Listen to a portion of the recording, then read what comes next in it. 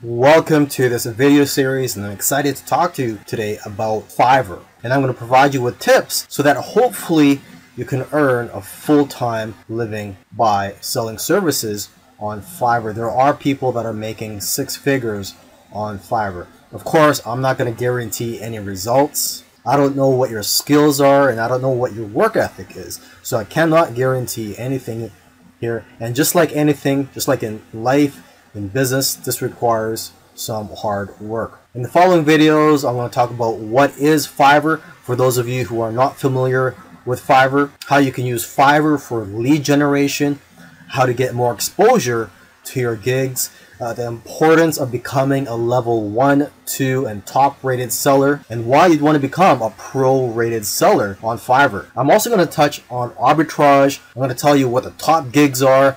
And finally, in my conclusion, I'm going to tell you what I think are the keys to success on Fiverr. So come join me and I'll see you in the next video.